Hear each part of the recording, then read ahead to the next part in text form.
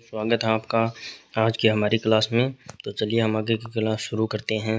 हमारा पहला क्वेश्चन है, निम्न में से राजस्थान के किस शहर पर सूर्य की किरणें सबसे कम तिरछी पड़ती है? तो मैंने आपको बताया था कि कर्क रेखा राजस्थान के दो जिलों से होकर गुजरती है, डूंगरपुर और बांसवाड़ा से। तो सबसे दक्षिणतम ज़िले भी यही हैं तो इस कारण कर्क रेखा के गुजरने के कारण बांसवाड़ा में सबसे सीधी किरणें पड़ती हैं और गंगानगर कर्क रेखा सर्वाधिक दूर होने के कारण सबसे तिरछी किरणें, कम तिरछी किरणें पड़ती हैं। तो ऑप्शन कौन सा सही होगा? गंगानगर होगा? तो ऑप्शन है हमारे पास गंगानगर, जयपुर, अजमेर और डूंगरपुर सही होगा गंगानगर।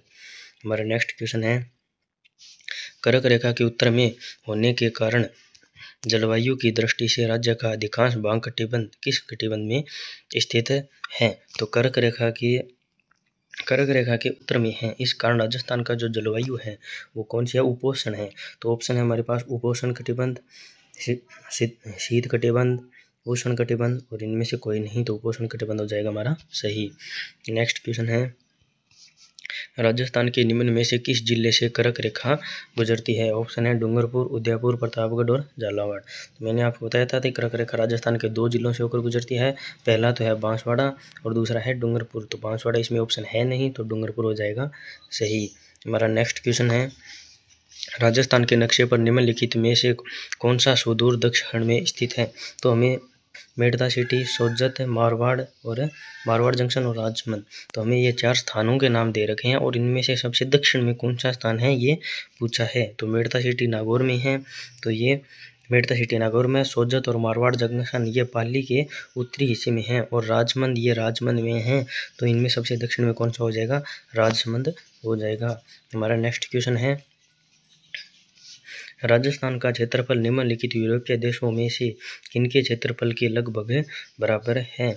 तो राजस्थान का जो क्षेत्रफल है वो इटली इटली, नॉर्वे और पोलैंड के लगभग बराबर है। तो इनमें कौन कौन से ऑप्शन दे रखे हैं? पहला है नॉर्वे, बेल्जियम, स्विट्जरलैंड और पोलैंड। तो इनमें दो ही देशों के नाम आएँगे। ऑप्शन है ए, ब और द, ए और स, ब और द, ए और द। तो ऑप्शन सही होगा, चौथा। हमारा नेक्स्ट क्वेश्चन है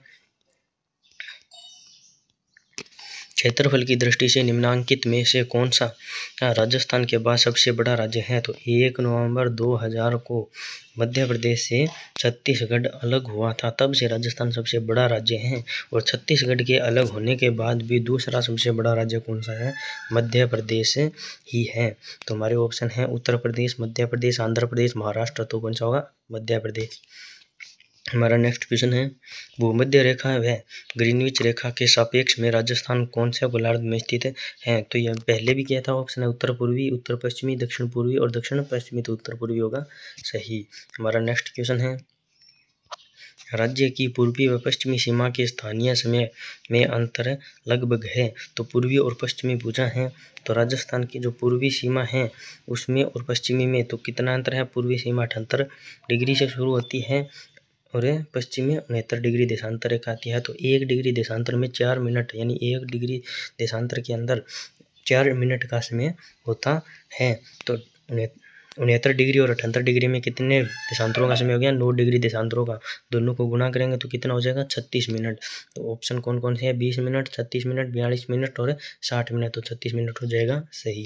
हमारा नेक्स्ट क्वेश्चन है, राजस्थान के सर्वाधिक निकट बंदरगाह कौन सा है? तुतिकोन कांडला पारादीप या कोचिन तो कांडला हो जाएगा। सही जो कहाँ की स्थित है? गुजरात में स्थित है। हमारा नेक्स्ट क्वेश्चन है, राजस्थान किस देश से पाँच गुना बड़ा है? तो राजस्थान है वो श्रीलंका से पाँच गुना बड़ा है। तो श्रीलंका, जर्मनी, अमेरिका और नेपाल तो श्रीलंका हो जाएगा। सही। आज की क्लास में इतना ही, बाकी करेंगे। कल धन्यवाद।